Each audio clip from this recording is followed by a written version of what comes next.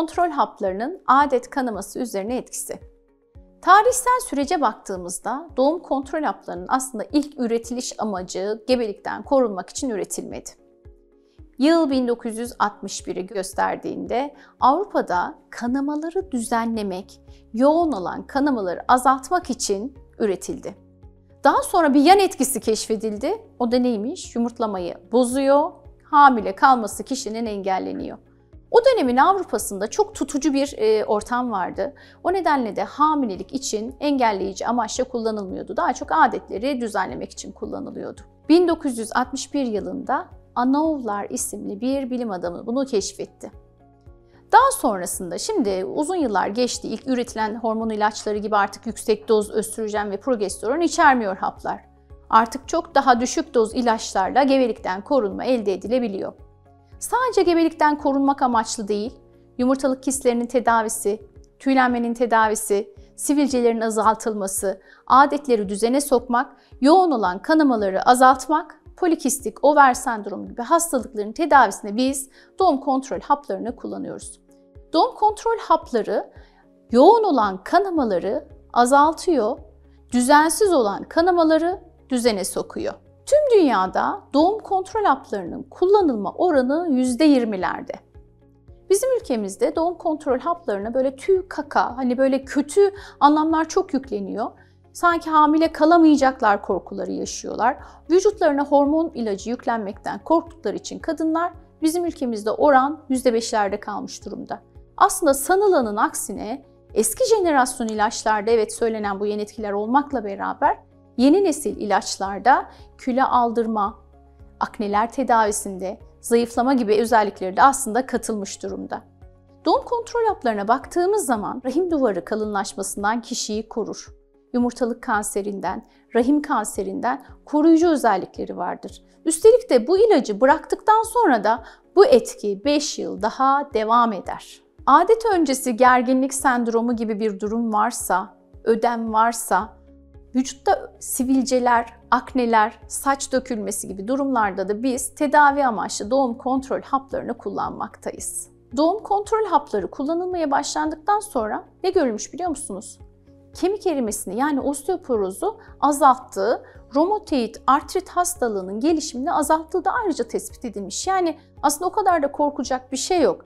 Yeter ki doğru ilacı doğru zamanda hekiminizin size başlaması.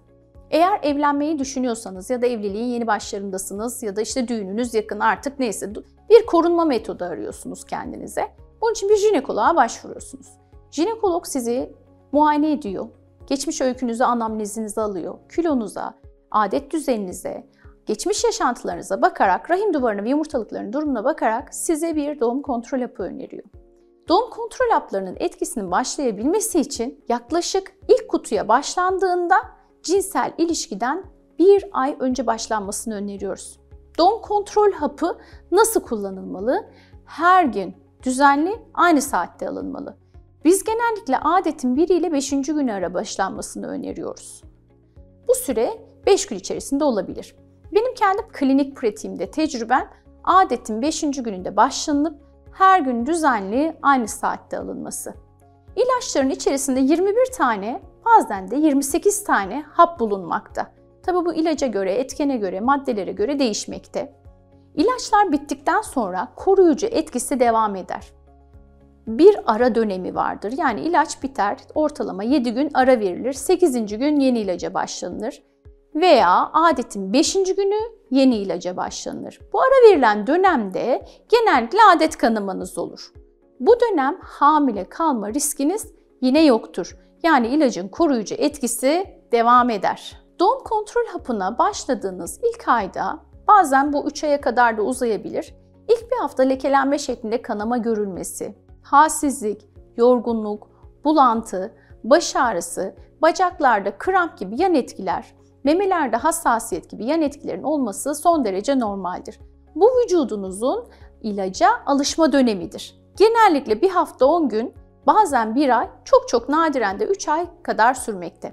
Ama bu etkiler 3 aydan fazla sürüyorsa o zaman mutlaka hekiminize başvurmalı, ilaç değişikliği yoluna gitmelisiniz. Eğer doğum kontrol hapı kullanırken görmede bulanıklaşma, ani görme kaybı, şiddetli tansiyon yükselmesi, şiddetli karın ağrısı, bacaklarda geçmeyen bir ağrıyla karşılaşırsanız o zaman ilacı kesmeli, hekiminize başvurmalısınız.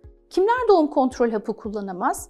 Ailesinde meme kanseri geçirmiş biri varsa ve bu birinci derece yakınıysa, kendi de bu hastalıkla bağlantılı genetik geçişli bir durum söz konusuysa, yani genetik geçişli bir meme kanseri söz konusuysa bu kişilerin kullanmasını istemiyoruz. Aktif karaciğer hastalığı, siroz gibi durumlar, ağır major depresyon geçirenler, epilepsi hastaları ve aktif pıhtılaşma sorunu olan kişilerde doğum kontrol hapı kullanmalarını istemiyoruz. Bu kişilerde doğum kontrol hapı östrojen içerdiği için embolik olaylar yani pıhtılaşmayı meyili arttırabileceğinden kullanmalarını tavsiye etmiyoruz. 35 yaşından sonra doğum kontrol hapı kullanılabilir mi? 35 yaşından sonra doğum kontrol hapı doktor kontrolünde kanamaları azaltmak için kullanılabilir. Ama şurada unutulmaması gereken bir nokta var ki 35 yaşından sonra eğer sigara içiyorsanız ve bu günde 10 tanenin üzerindeyse doğum kontrol hapları pıhtılaşma riskini arttırabileceği için dikkatli olmanızda veya yanında kan sulandırıcı bir ilaçla birlikte kullanmanızda yarar var. Diyelim ki düşük yaptınız veya kürtaj oldunuz. Doğum kontrol hapı kullanabilir misiniz?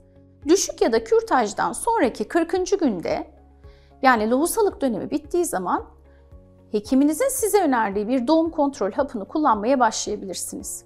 Bu tür durumlarda kullanmaya başladıktan 7 gün sonra koruyucu etkisi oluşmaya başlar. Ek bir korunma yapmanıza gerek yoktur.